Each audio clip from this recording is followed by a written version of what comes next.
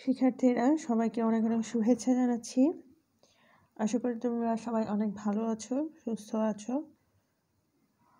আজকে আমরা তৃতীয় অধ্যায়ের কিছু সম্পর্ক দেখব।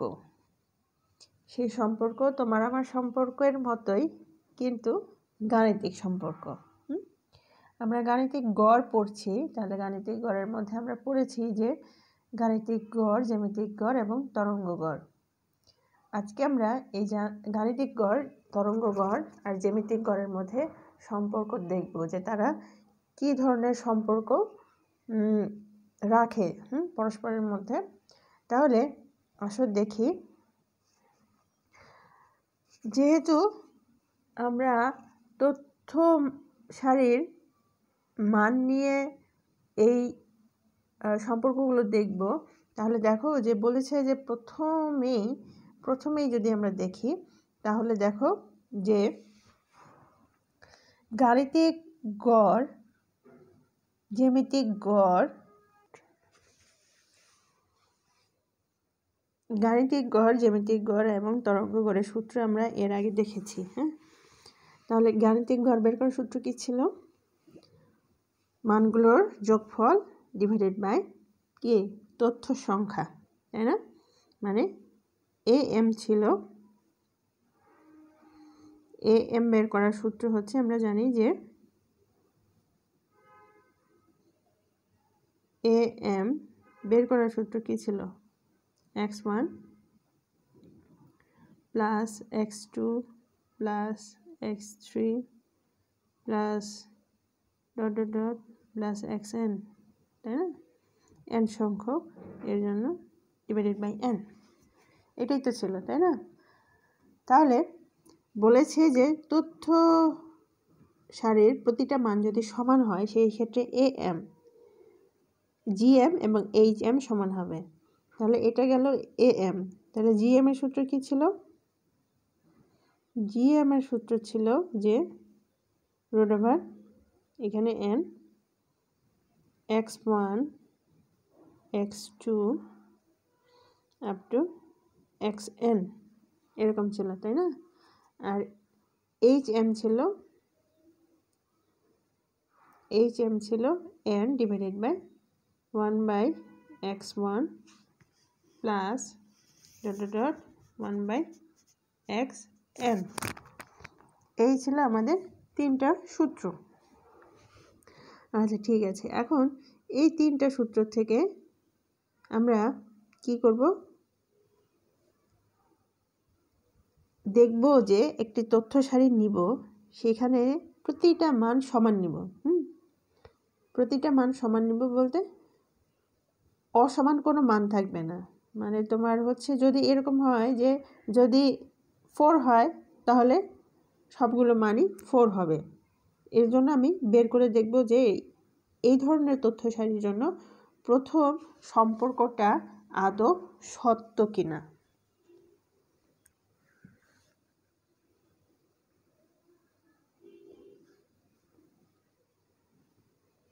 তাহলে তিনটা ফোর নিলাম, হুম? তিনটা ফোর যদি নেই এ এম বের করি আমি প্রথমে। এ এম বের করি, তাহলে তিনটা ফোর যোগ করলে কত আসবে? তিন চারে বারো, তাই না? কয়টা এখানে? তিনটে। মানে এন কত? তিন। তাহলে ফোর তাই না? জিএম জিএম বের করব। রুট ওভার এখানে হচ্ছে থ্রি তাই না? Four into four into four এখন আমরা কি জানি? এটা মানে হচ্ছে হাফ স্কয়ার মানে তাই না? এটা মানে হচ্ছে ওয়ান থার্ড এগুলো কিন্তু পাওয়ার এটা মানে হচ্ছে ওয়ান বাই ফোর মানে এগুলো হচ্ছে পাওয়ার কিন্তু হ্যাঁ? এগুলো কিন্তু সংখ্যা না। তাহলে এখানে কত দেওয়া আছে? ওয়ান থার্ড দেওয়া আছে। তাহলে আমার কয়টা সংখ্যা এখানে আছে? আমার সংখ্যা আছে এখানে তিনটা। হুম? তাহলে এখানে আমি এটা লিখতে পারি, ফোরের পাওয়ার থ্রি, তাই না?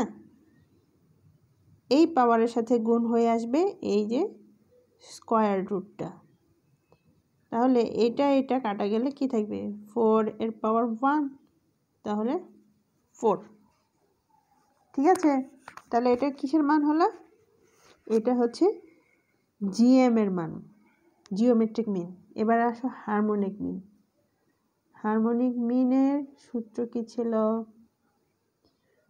Three N divided by one by four plus one by four plus one by four তাই না? এখন দেখো এই তিনটা ওয়ান বাই ফোর আছে। যোগ যদি আমরা করি, খুব সরলভাবে যদি যোগ করি, তাহলে তিনটা আমার ওয়ান বাই ফোর আছে। আমরা লসাগুতে আর না গেলাম হ্যাঁ? লসাগুতে যদি না যায়, তাহলে আমার তিনটা হচ্ছে ওয়ান বাই ফোর আছে। তাহলে এই থ্রি এই থ্রি কাটা গেলে কি থাকবে? এটা যদি আমরা উল্টিয়ে দিই, তাহলে কিন্তু ফোর আসবে। ঠিক আছে? তাহলে এই যে মানগুলো দেখো ফোর জিএম এর মান ফোর এইচ এম এর মান ফোর। ঠিক আছে? তাহলে এই তিনটাই কিন্তু সমান। কখন? যখন এই তথ্য সারির মানগুলো সমান হবে। তখন এই যে A M G M H M এই তিনটাই সমান হবে। প্রত্যেকটা গড়ই সমান হবে। কিন্তু যদি তথ্য সারির মানগুলো অসমান হয়। ঠিক আছে?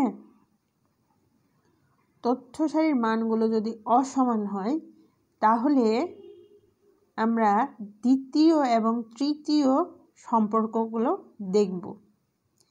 দ্বিতীয় সম্পর্কতে বলেছে এ এম আর এইচ এম এর মান যদি গুণ করি, তাহলে সেটা জি এম এর বর্গের সমান হবে। ঠিক আছে? এ এম এইচ এম যদি গুণ করি, তাহলে সেটা জিওমেট্রিক মিন এর বর্গের সমান হবে। আবার বলেছে যে A M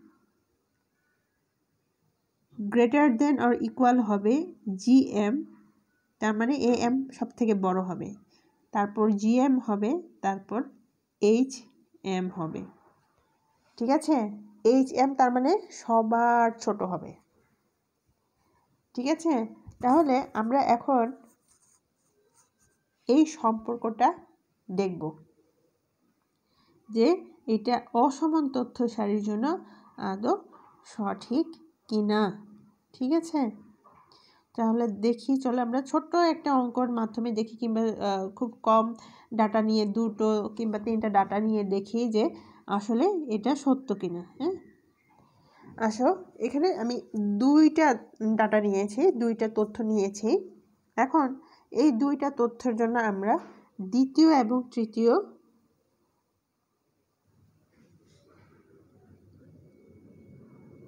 তাহলে দেখো তিন আর পাঁচ নিয়েছি। এখন তিন আর পাঁচের জন্য আমরা কি করব প্রথমে? এ এম বের করব। হুম? এই এ এমটার বের করার সূত্র কি? এই যে এটা। হুম? এক্স বারের মাধ্যমে আমরা এ এম যে কোনো গড় আমরা বের করি। তাহলে প্রথমটা আমি বের করেছি এ এম। এ এম এর সূত্র ছিল X summation X I divided by N তাই না? এখানে এক্স আই বলতে এক্স ওয়ান আর এক্স টুই আছে। তাহলে আমার এন কত হবে? এনের মান হবে আমার টু হুম?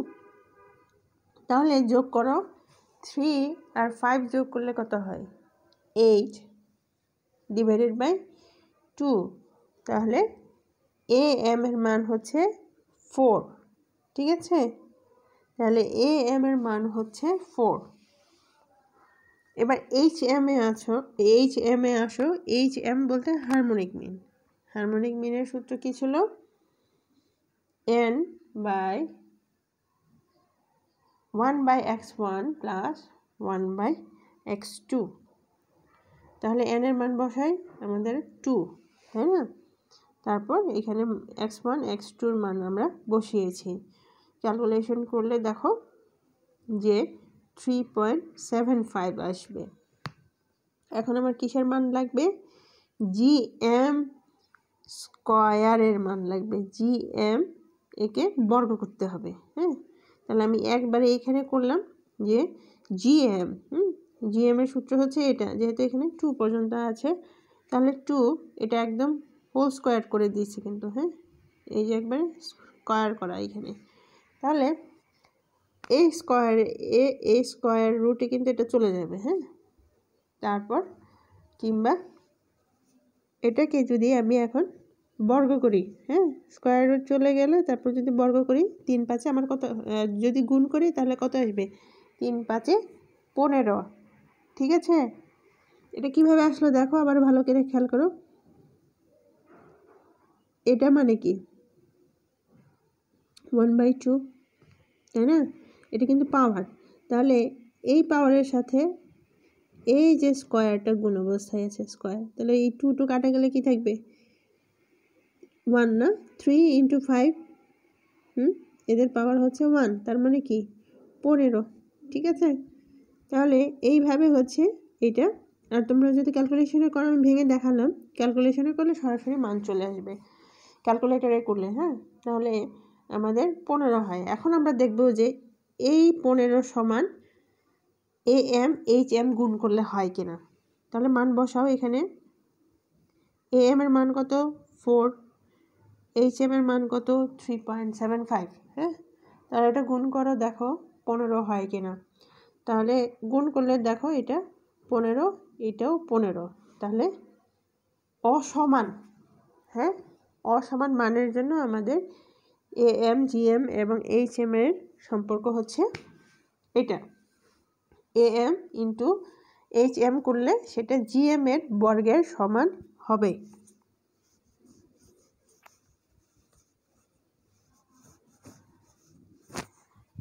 এখন আমরা তিন নাম্বার সূত্রটা দেখব। তিন নাম্বার সূত্রে দেখো, আমাদের দেখাতে হবে যে অসমান তথ্যের জন্য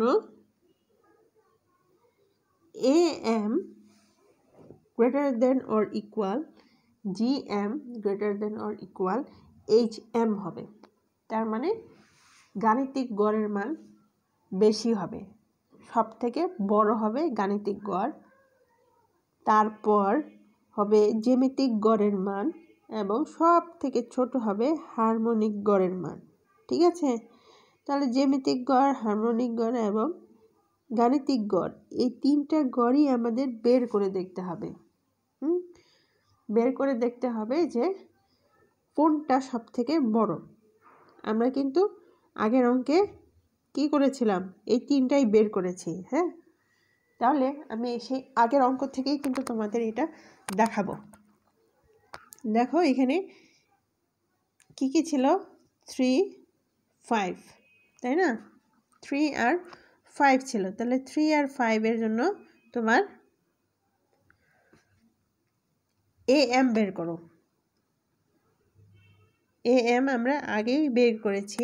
এ এম কত ছিল? ফোর ঠিক আছে? তাহলে এইচ এম বের করেছিলাম আমরা, কত আসছে? থ্রি পয়েন্ট সেভেন ফাইভ এবার আসো জিএম এর মান বের করব। গত সম্পর্কে ছিল মানে আগের সম্পর্কে ছিল জি এম এর বর্গ, ঠিক আছে? এখন কিন্তু বর্গ না, সরাসরি আমাদের জিএম বের করতে হবে। তাহলে জিএম এর সূত্রে আমরা মানগুলো বসিয়েছি হ্যাঁ? জিএম এর সূত্রে মানগুলো বসিয়েছি বলতে এখানে থ্রি আর ফাইভ এর মান বসিয়েছি। এটা হচ্ছে রুট ওভার করলে পরে দেখো, এখানে থ্রি পয়েন্ট এইট সেভেন আসবে থ্রি পয়েন্ট এইট সেভেন আসবে। তাহলে তিনটা মান একটু খুব ভালো করে খেয়াল করে দেখো। Four three point seven five three point eight seven খুব ভালো করে খেয়াল করে দেখো কোন মানটা বড়।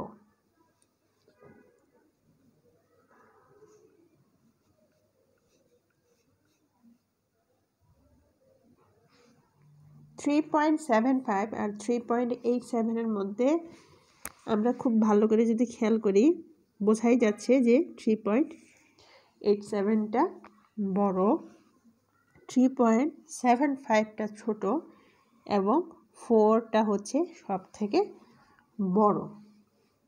ঠিক আছে? তাহলে দেখো যে আমাদের আসলে কোন সম্পর্ক দেখা লাগতো। আমাদের সম্পর্ক দেখতে হবে এটা, তাই না? তাহলে বসাও এ এ এম এর মান হচ্ছে ফোর ঠিক আছে? জি এম এর মান হচ্ছে থ্রি পয়েন্ট এইট সেভেন আর এইচ এম এর মান হচ্ছে থ্রি পয়েন্ট সেভেন ফাইভ ঠিক আছে? তাহলে আমাদের এই তিনটি মানের মধ্যে যদি সম্পর্ক দেখায়, তাহলে অবশ্যই এই ফোরটা অবশ্যই বড়। তারপর থ্রি পয়েন্ট এইট সেভেন তারপর থ্রি পয়েন্ট সেভেন ফাইভ তাহলে এটা দেখানোর কারণ হচ্ছে, যখন অসমান আমরা তথ্য সারি নিয়ে কাজ করি, তখন যদি পরীক্ষায় আসে হ্যাঁ অসমান তথ্য সারির জন্য দেখাও যে এটা হুম, কিংবা অসমান তথ্য সারির জন্য দেখাও যে A M into H M is equal to হবে জি এম স্কোয়ার ঠিক আছে? এই জন্য আমি তোমাদের এটা খুব ছোট করে, খুব সহজ করে বোঝানোর চেষ্টা করলাম। কিন্তু